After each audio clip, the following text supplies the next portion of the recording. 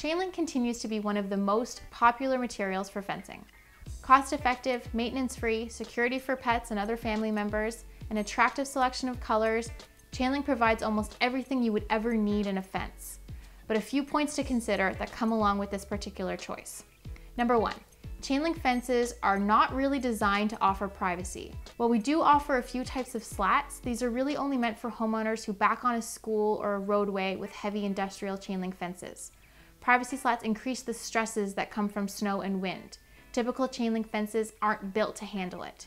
If you want or need privacy, there are far better alternatives than chain link.